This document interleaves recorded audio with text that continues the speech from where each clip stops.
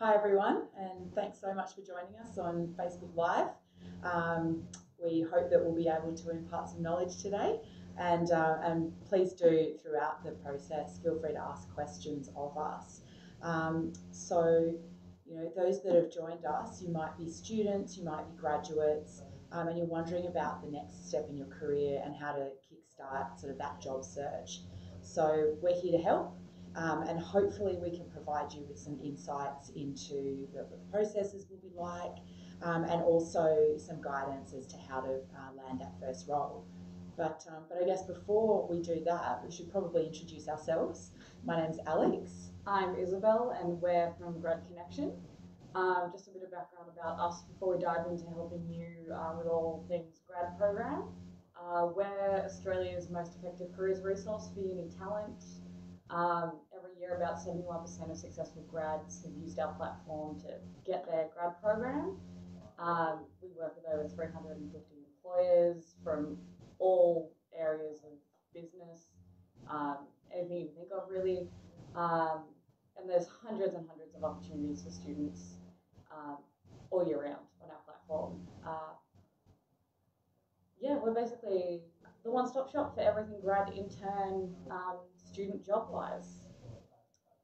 So yeah, as um, as we sort of said, if you do have any questions throughout the process, um, either type them into Facebook um, or you know, and then we'll do our very best to answer them for you. Um, so I think probably a good place to start is to start at the very beginning to sort of give you a bit of an idea as to the sorts of roles that you as a student or a graduate might have access to and you know what you should be thinking about and when you should be thinking about them. So you might have heard about internship programs. Um, these are programs that run generally in your penultimate year of university, so your second to last year of finishing uni. Um, and they're generally short term roles, so they might be a couple of weeks um, to a couple of months in duration, or they might just be throughout your um, penultimate year, a day or two a week with an organisation. It really depends what type of organisation you're looking out there. Um, the, the, idea behind these is that it gives you a little bit of a taste as to what it might be like working um, in that office or with those uh, with those colleagues, and it also um, gives you the opportunity to sort of try before you buy and see whether that might be somewhere that you might like to do your graduate position. So it also might help you to build out your resume and also build out your skills as well. Um, so they'll put you through all sorts of training and give you exposure to projects, all those sorts of things. And that's really important, I guess, um, so you understand what the workforce is all about. Um, just an aside as well, most uh, of the employers that offer an internship program will try and convert their uh, interns into graduates as well. So it's a really great way to get into a fantastic organisation early and, um, and really make your mark and get yourself set up before you get into your last year of the job before you even start looking. Exactly. Amazing. Yeah. Uh, and then obviously the next step is your final year looking for all the grad programs.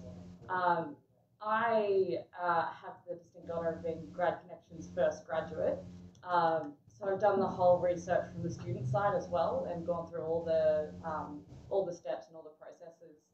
Uh, it, so a grad program is basically the work you do full time after your degree.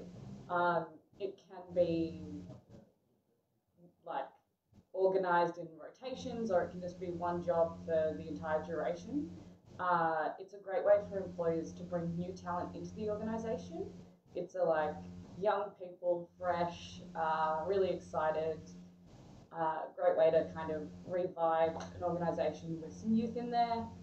Um, yeah, it can be, you could end up rotating through several different fields or just the one. There's a lot of grad programs out there that will, um, especially government, that will let you rotate through almost any business area. Um, and for like a fair amount of time as well. So you could end up doing six months in somewhere and then 12 months somewhere else and um, really get a taster for what you might actually be interested in. And then there's the just one role for the entire time, which is another great way to really dig your heels in and get to know the detail of the job you might actually end up in. Um, and get to know the day to day work and the overall kind of big project stuff as well. Um, so most of these grad programs will be advertised in February, March. So that's coming up very quickly. It's time to get researching and um, having a look for what everything is and where it all, who's advertising and where. Um, so come end of mid Feb, start of March, everyone will be posting for their grad programs. Uh, the yeah, just about when you start uni is when you should start looking. So I guess on an aside from that, um, a lot of companies will also be advertising their internship programs um, at the same time as they will be Yes. advertising their grad programs.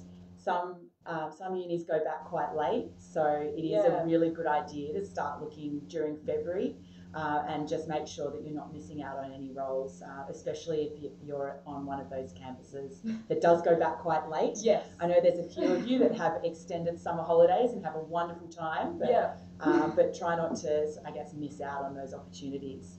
So so keep your ear to the ground.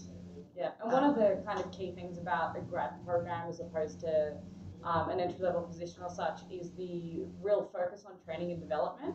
So it's a lot about building future leaders for that business. You're they're really, as an organisation, investing in you and putting a lot of time and effort into giving you the soft skills you might not have picked up while you were in uni, or filling those gaps that your degree might not have even known was relevant to the industry at the time.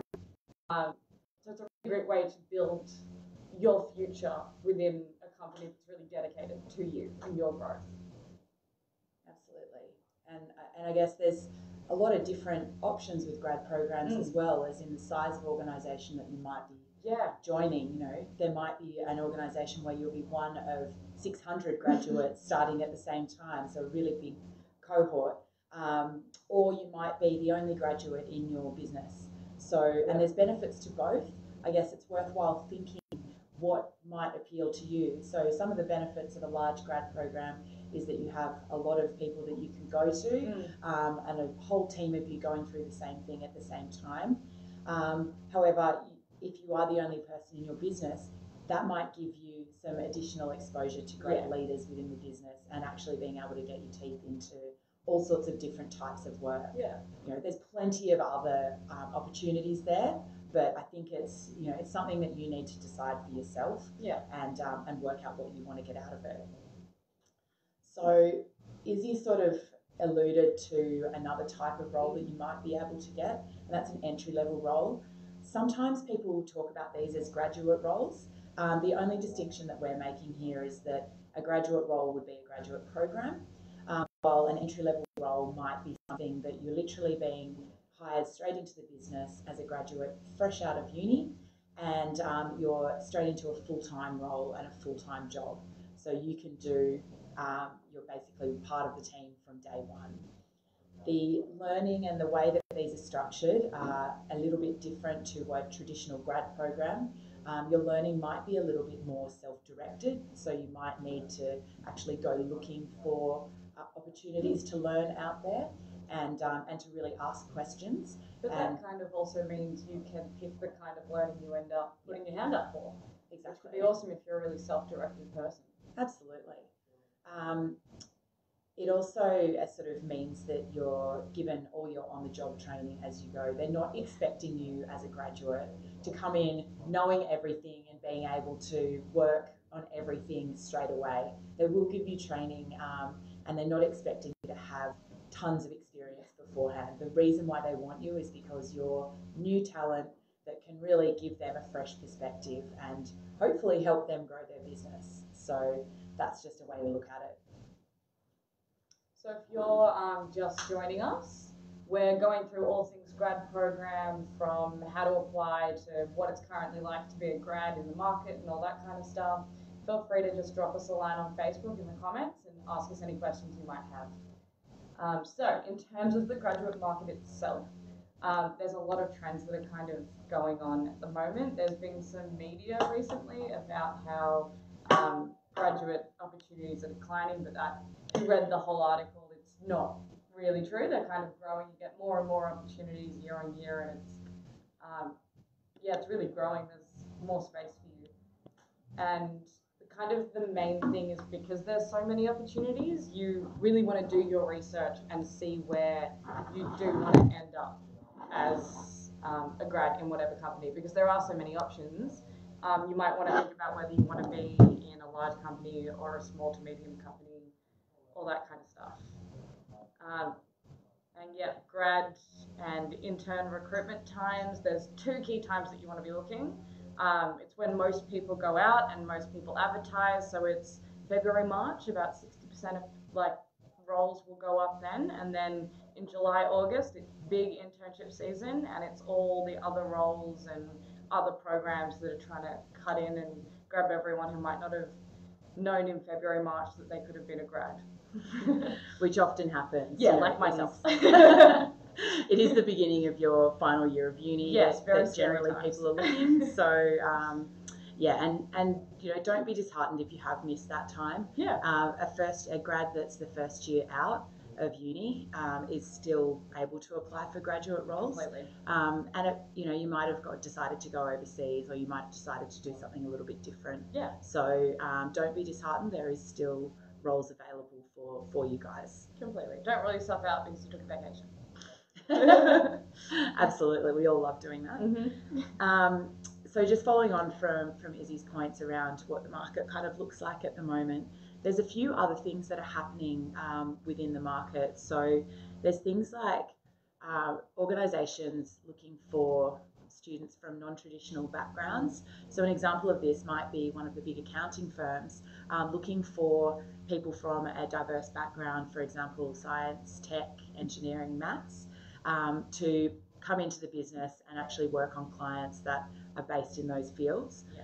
Um, so I guess the message there is to think outside of the box um, for the types of organisations that you're applying to. Um, you know, obviously on Grad Connection we have heaps of, of options for you, and you can search by the discipline that you are studying. So to give you a really good idea as to what opportunities are out there that you can take advantage of. Um, so I'd really encourage you to to do that. Um, the other thing that we're seeing is that there's not a hu- and this question gets asked all the time.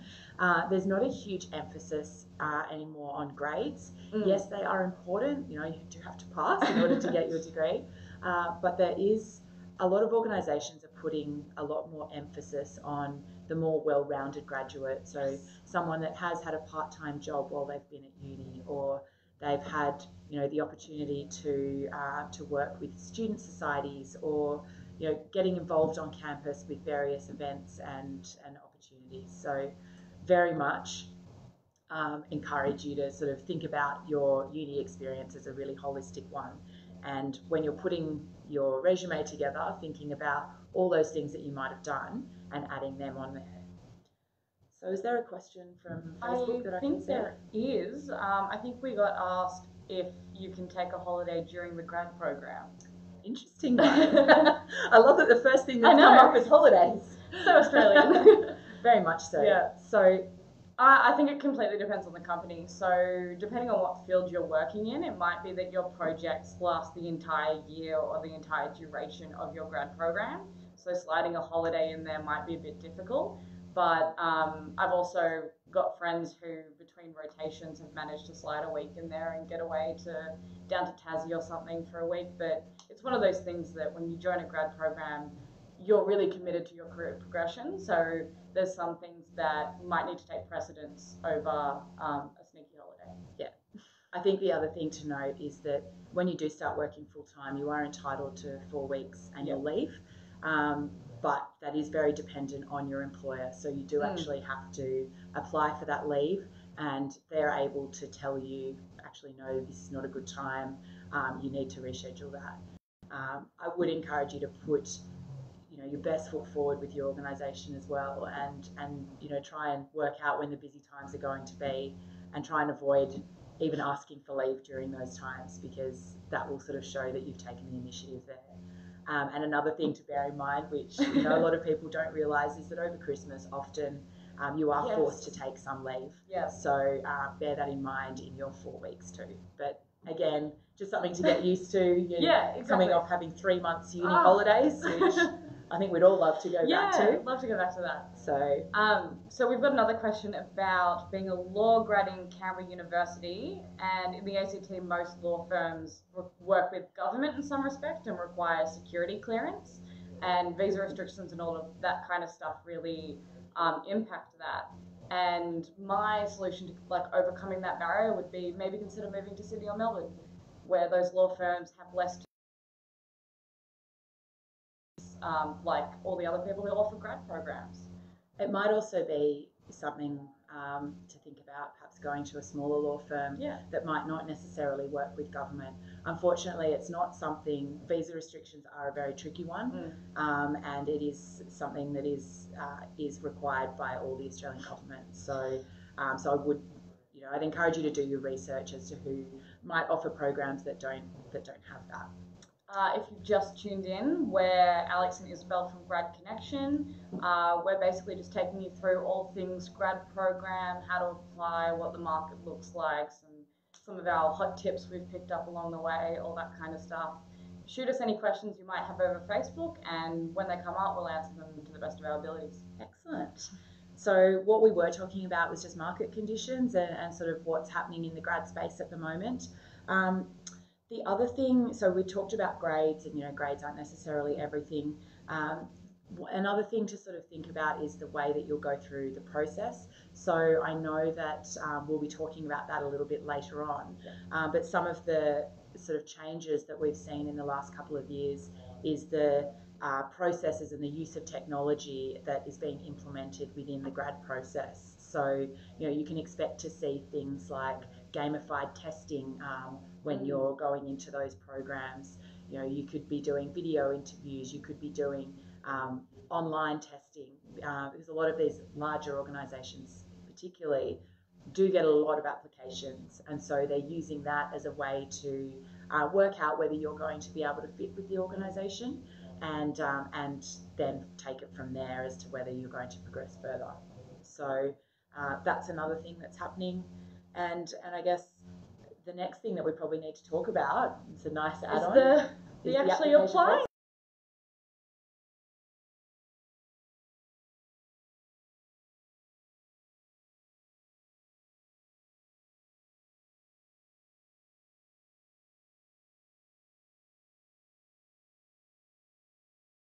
research the company.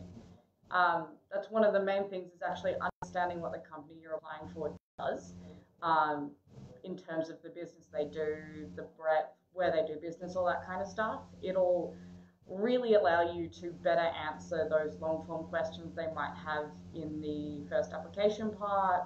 It'll give you some background when you go to assessment centres to interviews. If you've researched the company and you understand what they do, you, you're on great footing already. Absolutely. Yeah. Um, the other thing is to make sure to adjust your cover letter and resume to each role you're applying for. Um, grad programs aren't something that you can copy paste the same answers and the same cover letter over and over again.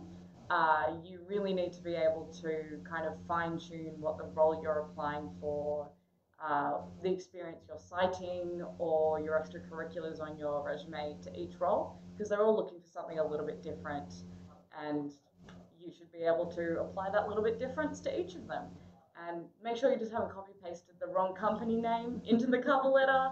Um, they can definitely tell. Yeah. uh, and then the other thing that I always found really helpful was having someone else sense check my applications for me. Because you go through and you do a couple and you end up just in your own little world of reading what you think you've written as opposed to what you might have actually written. Um, so the same as uni, when I um, wrote an essay, I'd have someone check it. When I wrote an application for a grad program, I'd make sure someone would check it for me. Um, it's just a great extra little little thing that will help you be much better in your applications. Great. Um, just letting you know, we have had a question um, from Facebook that, that there's, there's someone graduating finance in July. Any tips for landing the interviews? now that's fantastic, um, and we are actually going to go into that a little bit later, if Great that's all right. Yeah. Um, we will certainly be um, be covering off all of that. So stay tuned. We'll, we will get there. So don't worry. Um, so I guess moving on from from what Isabel's been talking about, uh, she did mention doing some research. Mm. And I thought it might be a good idea to run you through some some great ways to do that research. Yeah. So uh, it's really important to know what you're applying for, as Isabel said. So the way that you're going to be able to do that is uh, there's a couple of different ways. Online is your best resource. There is so much information out there for you, and um, the first place you sort of need to to look is, I guess, Grad Connection, obviously, um, because they're all on there. Um, but from that point, going through the company's website that you're thinking of applying to, and really having a look Mm. on there as to what they do, the different, I guess, service lines that Yeah. they might have, the organisations that they work with, what their client base might be like, all those sorts of things. Also, what they do for community. Yes. Um, I find for myself and my generation that I'm in touch with, it makes a big difference if you feel really good about the company, and you're not going to know that unless you research it. Absolutely.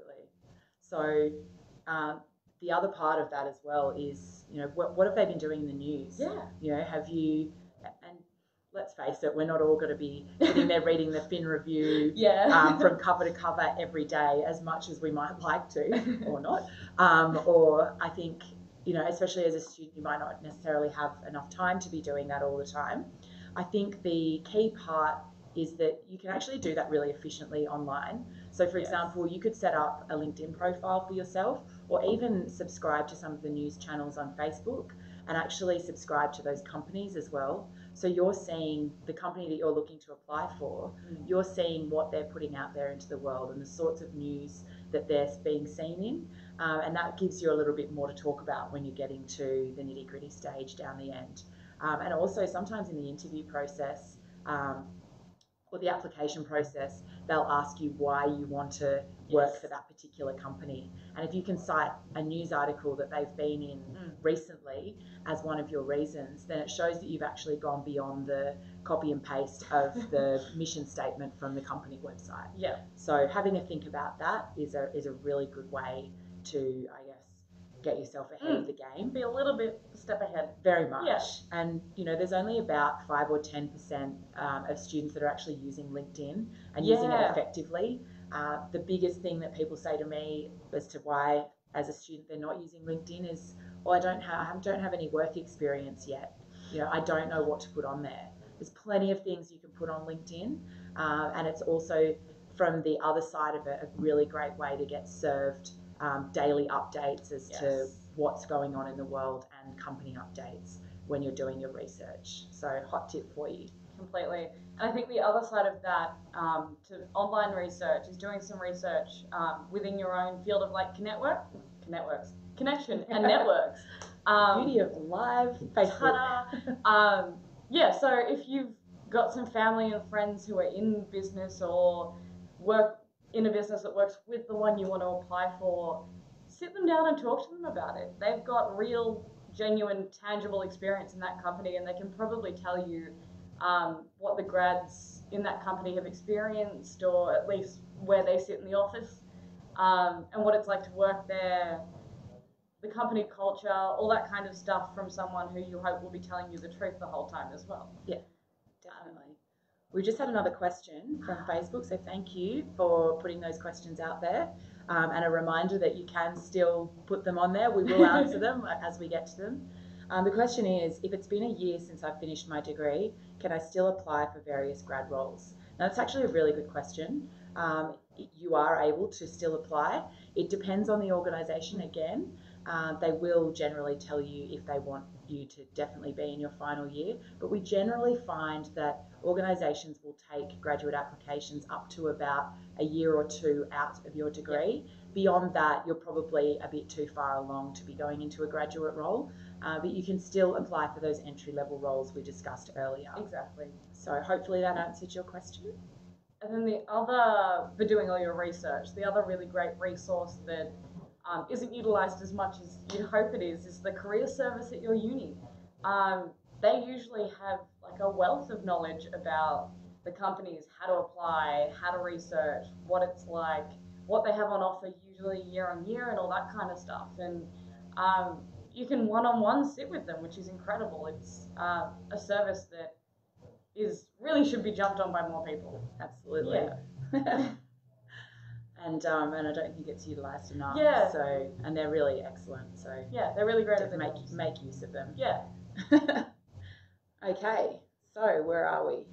Um, I think again, if you're just joining us on LinkedIn, um, uh, sorry, on, On Facebook. on Facebook again, the joys of live Facebook. Um, my name's Alex and this is Isabel, and we're from Grad Connection. Um, so we're a university, well, a jobs board for university students and graduates. You probably already know who we are, hopefully, if you're if you've tuned in. But we will be answering any of your questions about graduate programs, internships, and the process because it's just about to start. Yeah. So uh, please feel free to add those on Facebook uh, in the comments section, and we'll get to them. So great. Awesome. So next, the application process itself. Uh, I guess looking at what to expect and um, and what you what you can encounter along the way. So every process for every employer is a little bit different. Uh, what we're trying to give you here is a bit of an overview as to the sorts of things you might encounter. So it could be a combination of all of these things, or it might be just one or two. So, you know, don't take this as gospel, but hopefully we can give you a bit of an overview as to what to expect. So, there's a whole lot of different elements that you might have, um, and what we're going to do uh, in the future as well is do some deep dives into some of these elements um, in future work, Facebook Live workshops. Um, so, you can expect to see them in the next couple of weeks. So, We've just had a question through on Facebook about um, face-to-face interviews and how to respond to what do you offer to the company. Give us like five minutes and we'll be down to the interview section and how to ace all that kind of stuff and we'll come back to that. Cool. Back to you. Um, so the Isabel's already mentioned today a little bit about resumes and cover letters. Um, so one thing to note is that some organisations actually won't require an into a, a cover letter and a resume. They'll just make you go through an online application. So you know that's it's very definitely worthwhile having your resume up to date uh, and a cover letter. I guess template up to date, um, but just bear in mind that some organisations will just want to ask you questions and get all of your information that way. So, you know, the process might take a little bit of extra time. Um, and in that case, and I know how uni students love to leave things till the last minute, um, I certainly did. I pulled a few all nighters at the Yeah. end of everything. Uh, but I would encourage you to start thinking about these applications earlier rather Yeah. than later. Um, some organisations will even do rolling recruitment. So, Yes. once they open, they'll start screening candidates, and once those roles are filled, they're filled. So you're better off where you can uh, doing that interview, sorry, that application process earlier rather than later, and giving you a bit of extra time if there's other things that you need to get, like transcripts, like you know uh, references or anything Yes. like that. So so thinking about that. So um, the stuff that you would need to include in those resumes and cover letters. Um, anything that you have done at university. So, if you've been part of a club or society, any sports that you might have taken part in, um, any part time jobs, obviously, that you've had. You know, you might not think that working at McDonald's or Woolworths or, uh, you know, in a bar is relevant to, you know, your grad role that you're going for in an accounting firm.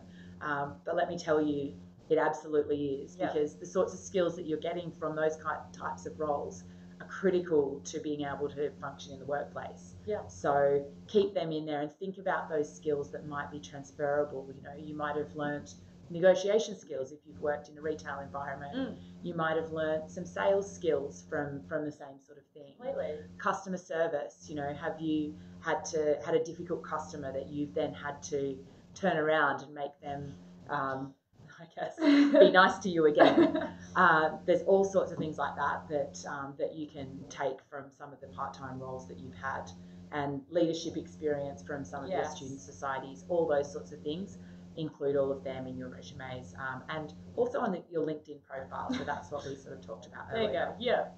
Um, the next step is the online testing. So not every company will do online testing, but the majority will in some form have online testing, be it gamified, so you're just kind of like in a theme park and solving all these number math image questions um, or just a ranking of value systems. There's a lot of different ways that they test those things. So actually, on that um, online testing piece, on the gamified one, uh, a hot tip that I got from one of my um, students that I uh, was helping out in Canberra was that they did one originally and, and didn't do particularly well, Mm. and um, then went and downloaded a whole lot of games, uh, app games on their iPhone. And um, some of those logic games, all those sorts of things, and did some practice on those, and then came back and did another version of the testing a bit later, and actually did much, much better. So those sorts of things, like logical reasoning, those Mhm. sorts of things, uh, it's a bit of a sneaky You can tip brush up. Sneaky tip Yeah, that you can use yeah. to uh, to brush up and do better. If you're just joining us, uh, this is Alex and I'm Isabel. We're from GradConnection, um, Australia's most effective careers resource for uni talent. Um, we're answering all your questions about grad program process, what the market's like, what our tips are, all that kind of stuff. So if you have any questions you want to ask us, just comment away on Facebook and we'll get to answering them for you. Um, so back to online testing. The my kind of biggest tip for online testing is do it somewhere where you'll be comfortable actually doing the test. So if it's one of those game ones where you need a mouse, I've tried it on my trackpad before and it's not the same. Just equip yourself and give yourself the best chance to do well. So you maybe don't want to do it while you've got Netflix on on another screen in the same room. You really want to sit down, give yourself the best chance to do really well in it and be honest with all those kinds of um, rankings of qualities and all that kind of stuff because if you're not honest and you join a company that wants you for that not honesty you're probably not going to fit and end up staying there very long You'll hate it. Yeah. they'll hate it. exactly and it's not going to end well just be honest um, and then the other thing is it's they always say it but do the practice questions same thing with um, download an app and get used to the functionality and all, all the logical reasoning and all that kind of stuff. Play the games, do the practice questions, get an understanding of the kind of format they're asking for you to answer in, um, what the time limit expectations are, and all that kind of stuff before you just dive straight into it. I think just on that as well, there are often time limits Mm. um, on these sorts of things. If there's a reason why you need some assistance with that, um, or if you have any special needs, um, then it's really important that you tell the employer ahead of time. Um, they're more than happy to make allowances for you, and um, and actually they, they probably would love to to be able to help you as much as possible through the Yeah. process. So if there is a legitimate reason that you do need some assistance, don't be afraid to ask. Yeah. Um, and and they'll, they're more than likely going to be able to accommodate you. Completely. And I think that's part of one of the biggest things that you need to remember as you go through this process is that everyone on both sides of this wants you to succeed. They want you to have a great grad program and a great experience the whole time through. So, Absolutely. yeah. Yeah. it's one of those things. And then uh, video interviews, which are always a bit of a scary one. Um, you either hate them or tolerate them. Um, and my my kind of big pet peeve with them was that I never really knew how to be to feel comfortable staring at a screen and talking to it like it's a person. So what I found is that I put up a picture of my mum on the screen and just pretended like I was chatting to her, and she was asking me these questions, and um, it just kind of took that edge off staring at yourself the entire time because usually they play it back to you as they're asking questions, and you end up staring at yourself the entire time, and it can feel really disconnected.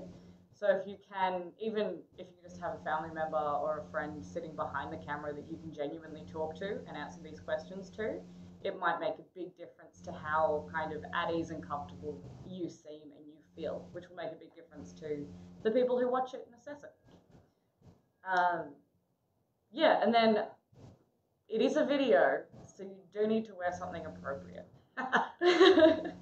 There's no all, pajamas. jo- all jokes aside, yeah, um, we've heard lots of horror stories Yes. about that. yeah. And mum and dad getting in the background and doing the vacuuming and all sorts of things. Yeah. So Um, it's pretty you just want to wear something that you would actually wear to the office that you're trying to become a part of the company.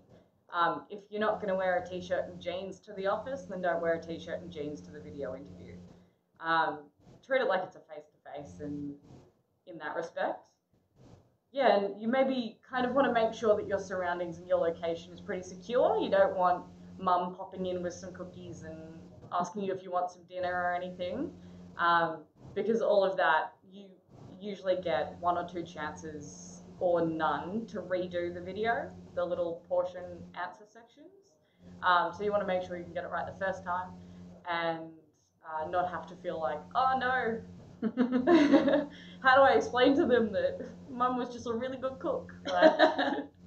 I guess the the other thing with that as well is be careful what's on the wall behind you. yes. Um, I think that's happened quite a lot that there's been Mm. something not that appropriate on Yeah. that wall. So have a think about where you're doing it.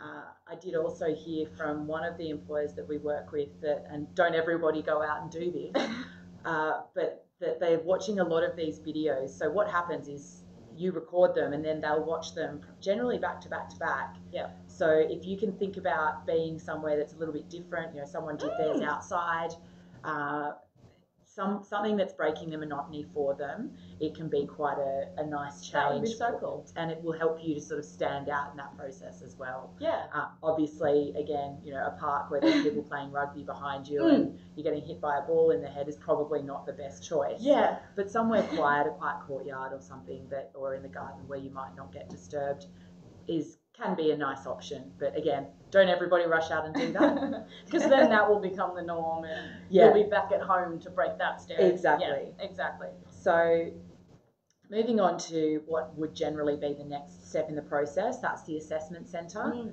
So, you know, what is an assessment centre? If you haven't heard that term before, basically what it is is a group interview.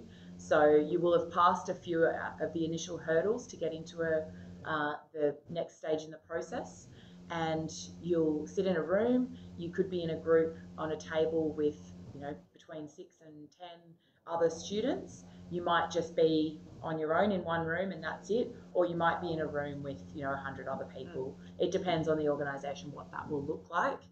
Uh, and the, the point of a group interview is to really see how you work in a team, um, to test things like what your communication skills are like, um, how you contribute to a group, uh, what you're actually uh, what you're actually contributing. Is it value valuable?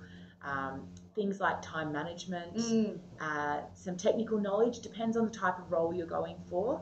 Uh, whether they're expecting you to have technical knowledge going in, or whether it's more of a soft skills assessment, um, and also presentation skills. So generally, what will happen is you'll have some time in the group to uh, work on a problem. Um, don't be put off if in the middle of the process someone Yeah. jumps in with an issue for you. Um, again, that's just a way of testing how you respond to that issue. So, uh, and often with assessment centres, there's there's not necessarily a right answer. It's it's how you've approached the pro the problem Mm. that they've presented you with, how you've worked with the team that you're on the table with, and um, generally at the end they'll ask you to do a presentation. And often that presentation will be a group presentation. Yes. And so again, it's very much about have you timed it out so everyone gets a go? Have you Mm. articulated yourself well? You know, are you presenting your problem or your solution to the problem in an efficient and effective way and, and really answering the question? And are you uh, not taking too much time so the person at the end doesn't get to speak? Yeah, exactly. So a couple Um, of little things, sorry, to be aware we, aware of in a, in an assessment centre. So a little tip is to set a timer at the very beginning. ah, Uh, so make sure you know you might have your mobile phone. Um, there's a timer on maybe there. put it on silent. Put it on silent, but um, put the timer on at the start so you know exactly where you are in that assessment centre. Um, think about things like listening to other people. It's often as important as contributing. So obviously, you know, there might be a group of alphas on your table and everyone's sort of competing against each other.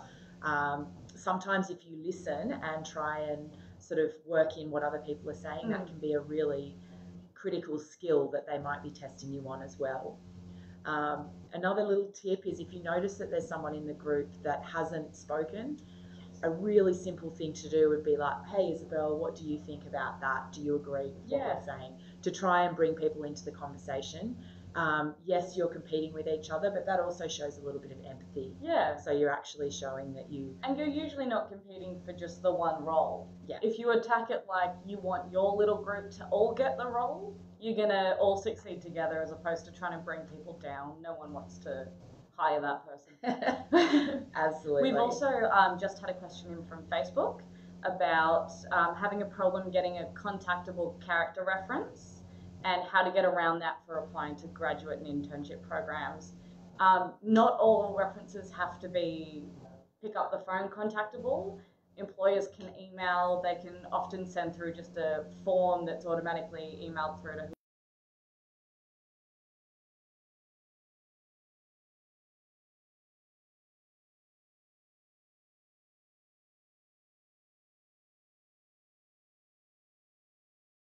Uh, I think I was almost done with that, to be honest. yeah? Oh, the only other thing is that sometimes they will send you material to read ahead of time.